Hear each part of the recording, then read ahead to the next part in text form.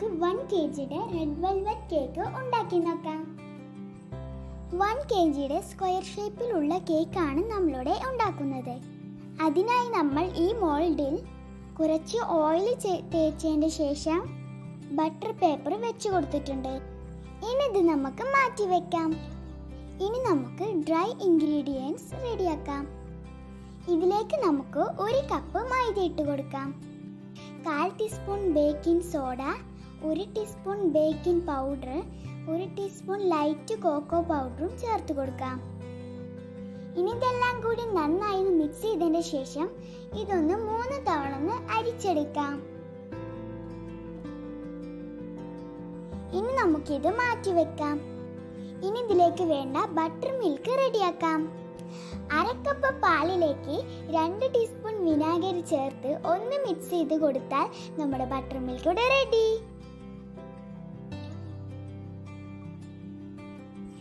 ഒരു ബൗൾ എടുത്ത് അതിലേക്ക് നാല് കോഴിമുട്ട പൊട്ടിച്ചൊഴിക്കാം.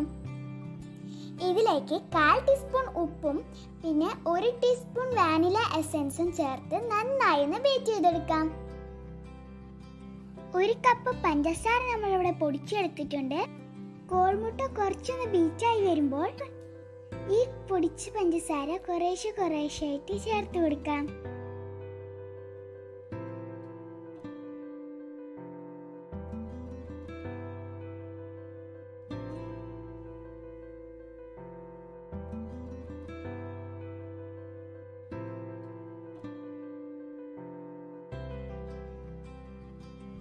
ഇപ്പം നമ്മുടെ കോഴിമുട്ട നന്നായി ബീറ്റായി വന്നിട്ടുണ്ട്.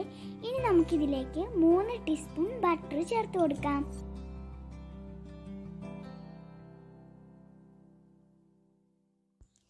ഇനി ഇതിലേക്ക് നമുക്ക് നേരത്തെ റെഡിയാക്കി വെച്ച ഡ്രൈ ഇൻഗ്രീഡിയൻസ് കുറേശ്ശെ കുറേശ്ശെ ഒന്ന് ചേർത്തൊന്ന് മിക്സ് ചെയ്തെടുക്കാം.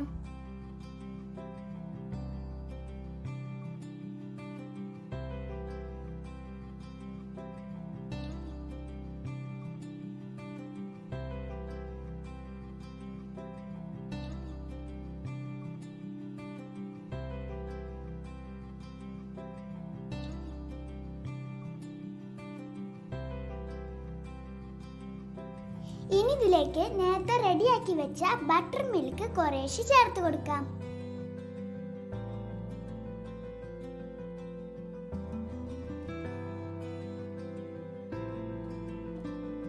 ഇനി ഇതിലേക്ക് റെഡ് കളർ ചേർത്ത് മെല്ലെ ഫോൾഡ് ചെയ്തെടുക്കാം.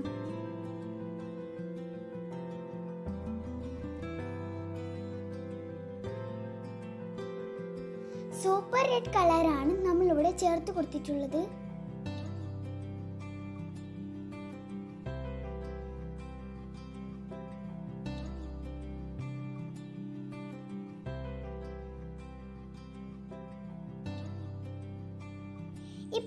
ബാറ്ററി ഇവിടെ റെഡി ആയിട്ടുണ്ട്. ഇനി ഇത് നമുക്ക് മോൾഡിലേക്ക് മാറ്റാം.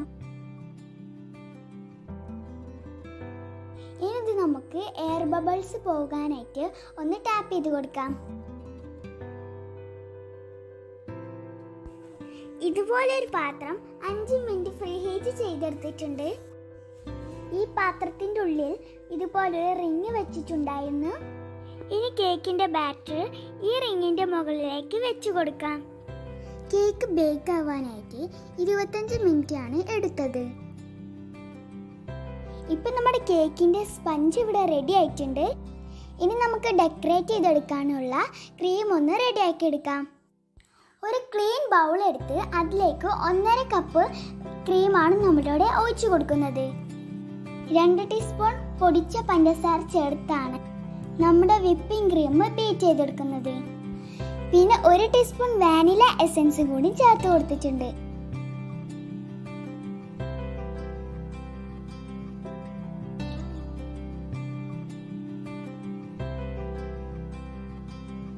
ഇപ്പൊ നമ്മുടെ വിപ്പിംഗ് ക്രീം ഇവിടെ റെഡി ആയിട്ടുണ്ട്. ഇതിൽ നിന്ന് കുറച്ച് ക്രീം മറ്റൊരു ബൗളിലേക്ക് മാറ്റി വെച്ചിട്ടുണ്ട്. ഈ മാറ്റി വെച്ച ക്രീമിലേക്ക് നമ്മൾ കുറച്ച് ക്രീം ചീസ് ആഡ് ചെയ്ത് കൊടുത്തിട്ട് ഒന്ന് ബീറ്റ് ചെയ്തെടുക്കാം. ഈ ക്രീമാണ് നമ്മൾ കേക്കിന്റെ ലെയേഴ്സിൽ ഫില്ല് ചെയ്തെടുക്കുന്നത്. നമ്മുടെ സ്പോഞ്ച് ഇവിടെ മൂന്ന് ലെയേഴ്സ് ആയി കട്ട് ചെയ്തെടുത്തിട്ടുണ്ട്. അതിലെ ഫസ്റ്റ് ലെയർ നമുക്ക് ഈ കേക്ക് ബോഡിയിലേക്ക് വെച്ച് കൊടുക്കാം.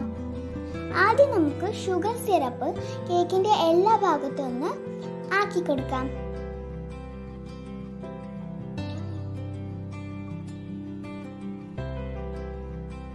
ഇനി നമുക്ക് ക്രീം ചീസ് ആഡ് ചെയ്ത ക്രീം ഒന്ന് തേച്ച് കൊടുക്കാം.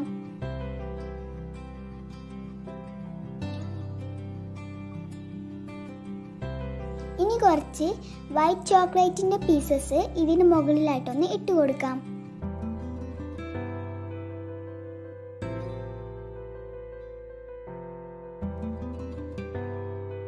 ഇനി നമുക്ക് അടുത്ത ലെയറും ഇതുപോലെ തന്നെ ചെയ്തെടുക്കാം.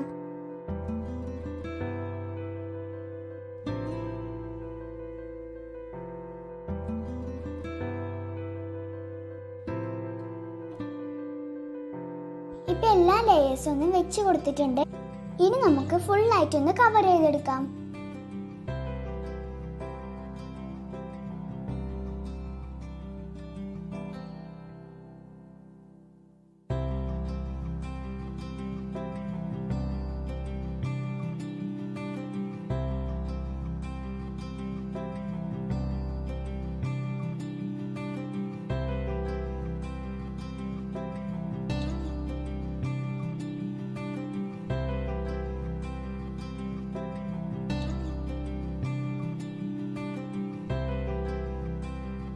ഇപ്പൊ നമ്മുടെ റോസ് ഫ്ലവർ ഒക്കെ റെഡി ആയിട്ടുണ്ട്. ഇനി നമുക്ക് കേക്ക് ഒന്ന് ഡെക്കറേറ്റ് ചെയ്തെടുക്കാം. ഡെക്കറേറ്റ് ചെയ്യാനായിട്ട് കുറച്ച് ക്രംസ് ഒന്ന് പൊടിച്ചെടുത്തിട്ടുണ്ട്. ഇത് നമുക്ക് കേക്കിന്റെ മുകൾ ഭാഗത്തൊന്ന് സ്പ്രെഡ് ചെയ്ത് കൊടുക്കാം.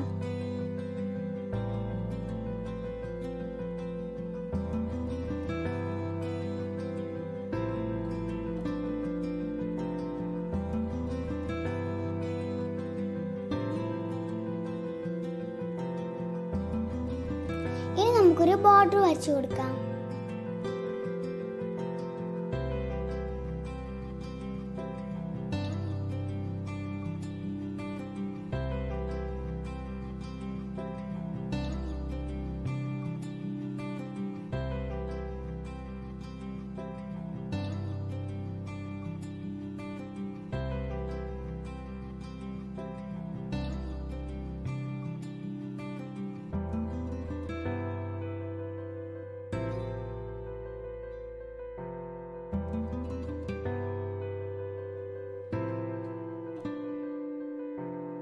ഇപ്പൊ നമ്മുടെ റെഡ് വെൽവെറ്റ് കേക്ക് ഇവിടെ അടിപൊളിയായിട്ട് ഡെക്കറേറ്റ് ചെയ്തെടുത്തിട്ടുണ്ട്.